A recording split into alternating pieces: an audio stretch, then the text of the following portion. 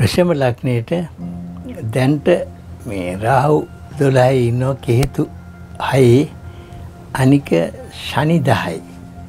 ඉතින් අන්නේ නිසා මේ ගුරු ගුරුගේ පිහිටීම් අරම තිබුණත් ශනිදායින් නිසා ඉතින් රැකියා සම්බන්ධ ටික වෙහෙස වෙන්න වෙනවා.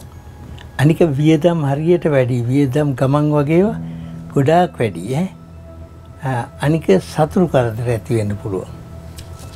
සතුරු කියන්නේ යම් යම් විරුද්ධයි නිකම්ම හැමෝම හුඟක් අය විරුද්ධ වෙන ගතියක් ඇති වෙනවා. අනික එක බඩේ අමාරු වගේ ලෙඩ ඒවත් ඇති කරනවා. Tamanට කොච්චර කියන්නේ හම්බ වුණත් ඒව රැඳෙන ගතිය අඩුයි. වියදම් වෙනවා. ලැබෙනවා යනවා. අන්න ඒ වගේ තත්ත්වයක් තමයි මෙතන ඇති කරන්නේ. අනිත් එක Tamanගේ දරුවන්ටත් නරකනේ දරුවන්ට සාමාන්‍ය දියුණුවක් ඇති කරනවා. ඒ වුණාට Tamanගේ මේ කරන කටයුතු එච්චර සාර්ථකත්වයක් නැහැ. කරන වැඩවල අඩාල වීමක් වගේ පෙන්නන්නේ. අනික විවාහ ජීවිතේ වුණත් ප්‍රශ්න ඇති වෙනවා. විවාහය සම්බන්ධ නුරුස්සන ගති ගැටීම් ඔය වගේ දේවල් ඇති වෙනවා හරියට. ඒ තත්ත්ව දිගටම පවතිනවා. Taman ඉතින් උගා කිවසිලිමත්ව ඉන්න ඕනේ. මොකද විවාහයට බාධා හරියට එනවා. කරදර බාධක වැඩි විවාහයට ප්‍රශ්න ඇති කරන ගතිය ගොඩක් වැඩි. අන්න ඒක නිසා තමන් හරි කල්පනාකාරී කරන්න ඕන මොන දෙයක් කළත් ඒක විවාහ පැත්තට බලපානවා. විවාහ වෙන කෙනාට අගුණ ගෙන දෙන විදිහට තමයි ඒක එන්නේ. මොන දෙයක් කළත් ඒක අනිත් පැත්ත බැලුවම විවාහ පැත්තට ගහන්නේ. ඉතින් ඒකෙන් හුඟක් තමන්ගේ සියලුම කටයුතු අසාර්ථක වෙන්න පුළුවන් ඒ විවාහය පැත්තට එන කරදර නිසා. ඉතින් පුළුවන්ම තරම් තම අනික ඔය එහෙම ගමන් බිමනුත් අනවශ්‍ය ගමන් ඇදෙනවා. වැඩි.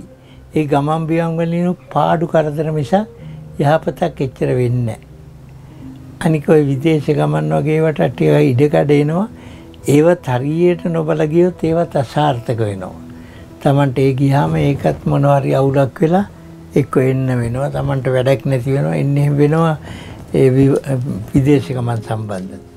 හරි කල්පනාවෙන් තමයි කරන්න ඕනේ වැඩ. අනික රැකියාව වෙහෙස වීම මහන්සි වීම හරියට වැඩි.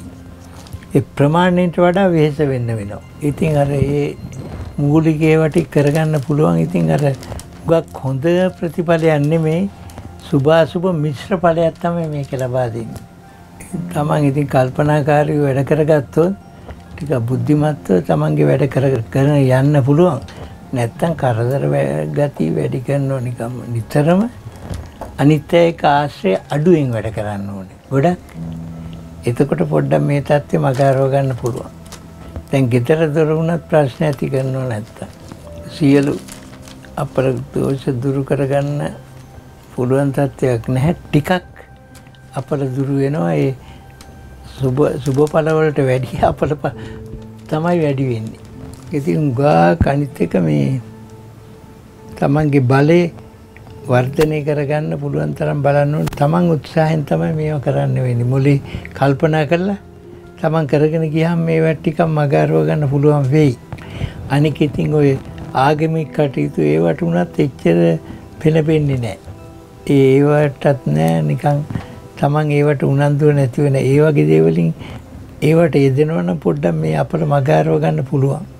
අනිත් එක මේ මෙතනදී ගොඩාක් දුරට කරන්න ඕන දෙයක් තමයි ඊශ්වර දෙවියන්ට බාර වෙන එක. අනිත් එක රාහු අර වැටකෙය ගසක් වැටකෙය ගහක් මේ වත්තේ හිටවල කොහේ හරි ඒකට වතුර දාන එක.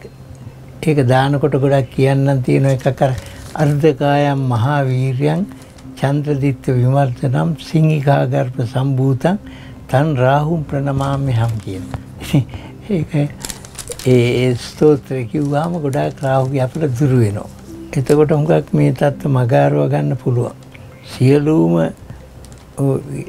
නිතර කියන්නේ මේවා දැන් ඔය කල්පනා නොකර කිසිම වැඩක් කරන්න. කොහේ යන්න උනන් නරකයි හිත හරියට කල්පනා නොකර. ඒවා හැමතිස්සෙම අසාධාරණේ Tamanට අවාසියට හිටිනවා. අන්න ඒකයි කරන්න ඕනේ මෙතන. හැමදේම කල්පනාවෙන් කරන්න ඕනේ. අනික වැඩ වැඩි වෙනවා විවේකයක් නැහැ. නිකන් හරි කරදරෙන් හිත අවුලෙන් තමයි ඉන්න සිද්ධ වෙන්නේ.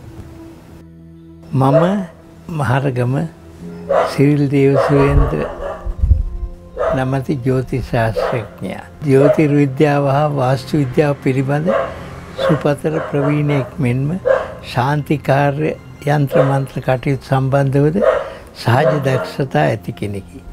මම ජ්‍යෝතිෂයට අමතරව ආයුර්වේදයේද හදාරා ඇත්තෙමි.